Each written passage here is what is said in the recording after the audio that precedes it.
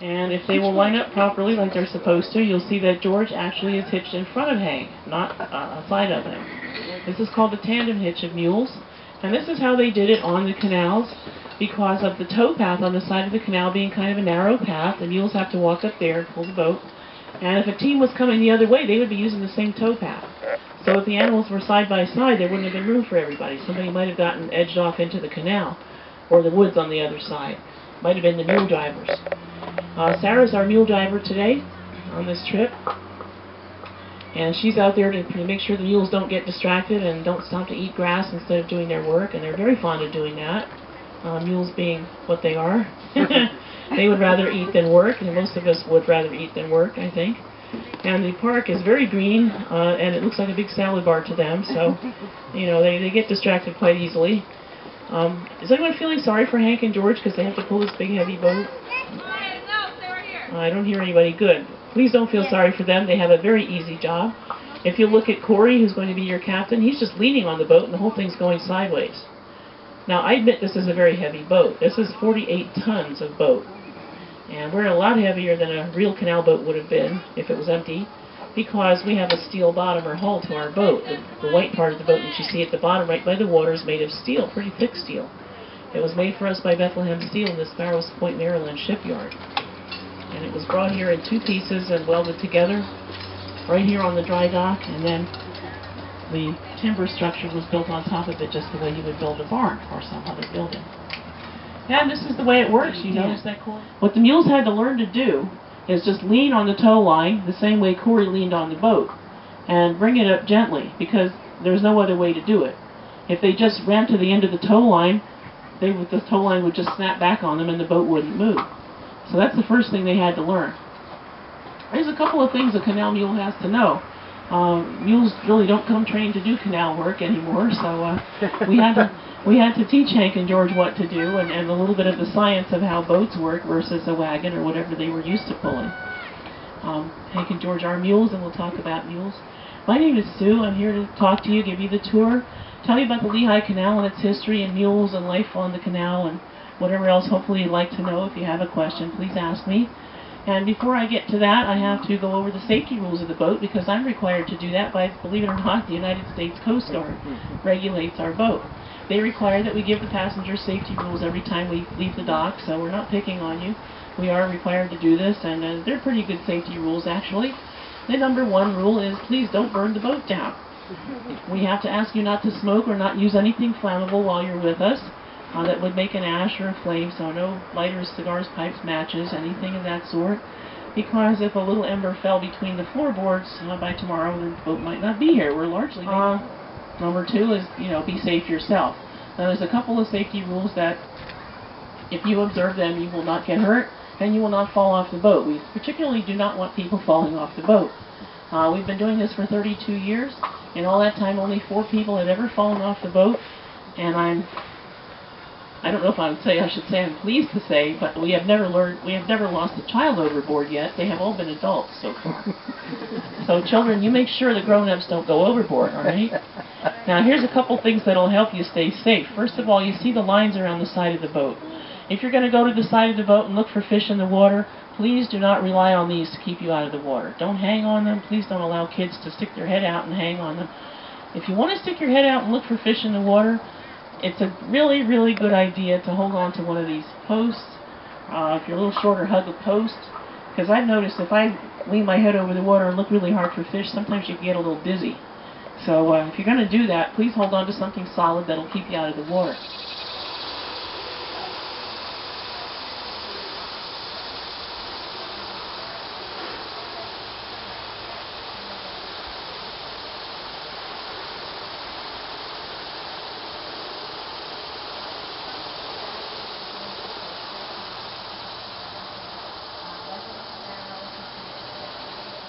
Notice something, the mules stopped and we didn't. Mm-hmm. So this should give you an idea that it's pretty easy to keep the boat moving once it starts up.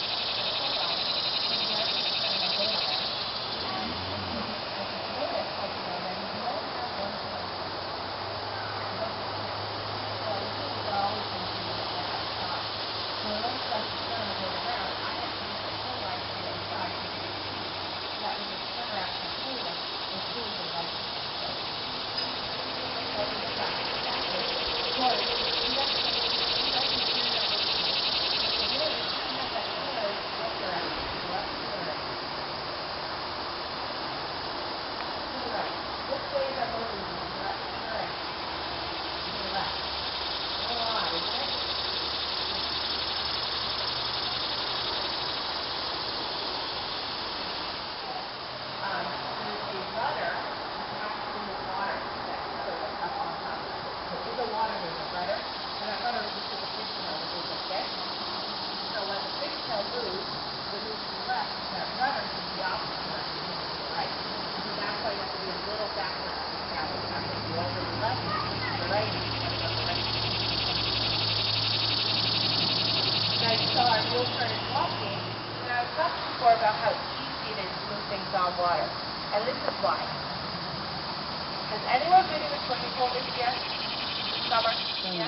steps, and then we're floating again.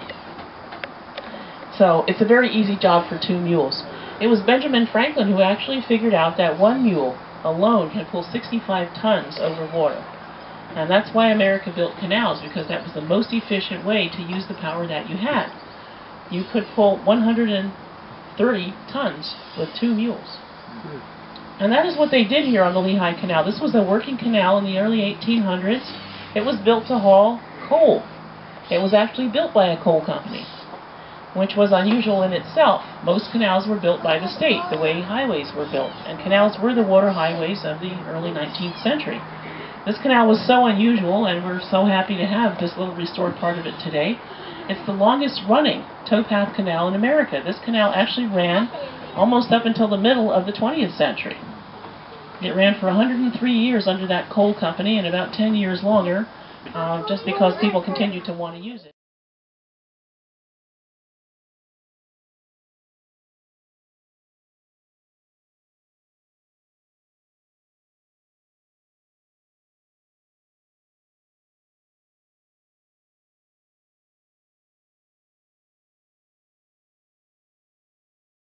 one, and most of the original lock tenders houses that were built in the 1820s were actually made of stone. They were just like little stone cottages, very small. This is an unusually large lock tender's house. They must have liked this family very much. So it must have been a big family to build in that big a house. The original lock tenders houses were little stone cottages. And the first one here was actually on the other side of the feeder gate, on that other shore. And they wanted to put an boat. I kind of gave you some idea. The children did the walking on the boat, you didn't have the comforts that we had. You didn't have seats to sit on.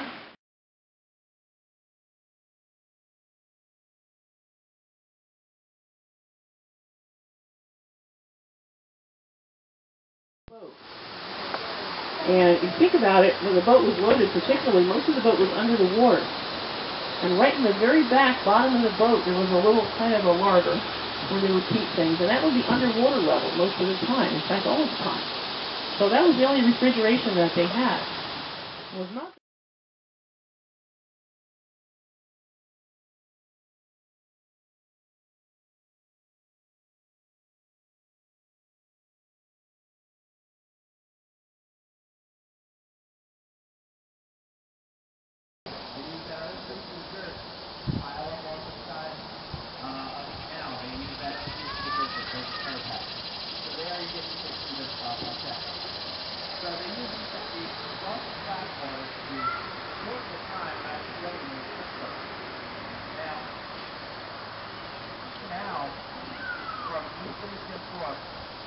about 46 miles long. They can get 46 miles now year. So they actually the whole process took about seven years. So they were doing other time, they were all from they were on the they were able to keep keep that thing. And they by 1829 they had a working system here of whole boats down the canal and empty boats coming back up. So not only did they use it, they actually did one better than the state. The state used to decide when it's breaking. Um, if you have any questions, uh, let me know, and I'll take I'll answer any questions over here.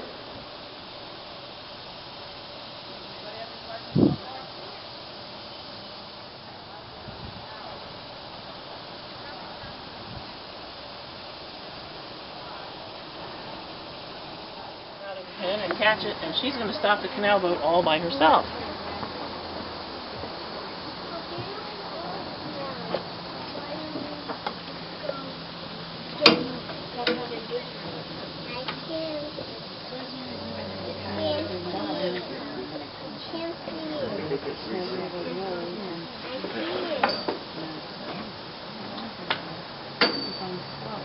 So,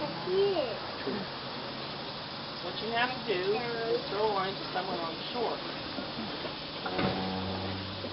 And that's usually your child, who might be as young as seven, right? Hmm.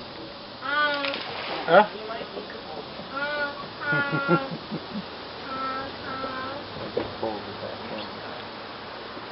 So Sarah's going to be our seven-year-old.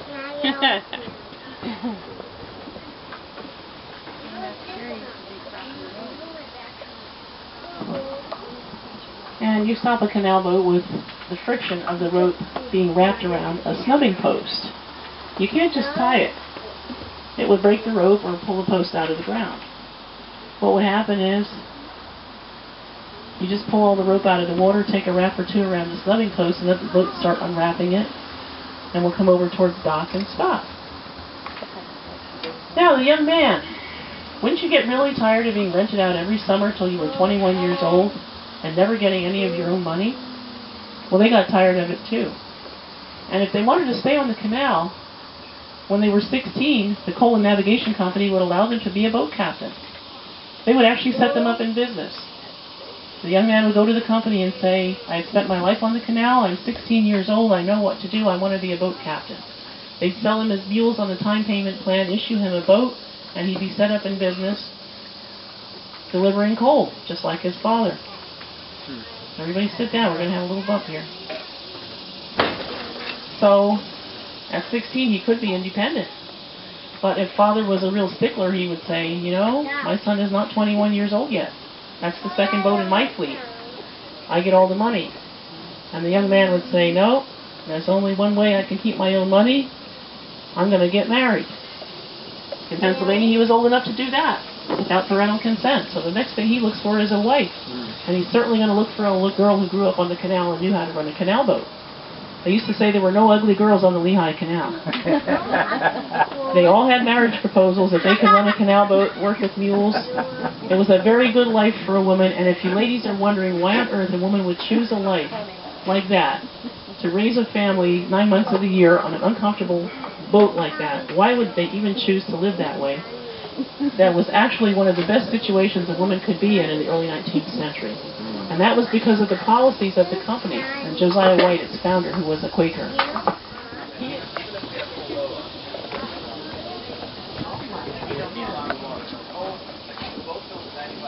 Cool.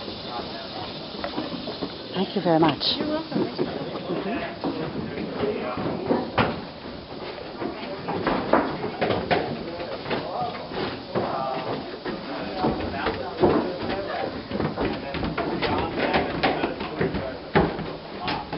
And you get into Delaware when you go number 24, which is, uh, uh, which the park is down there by 611.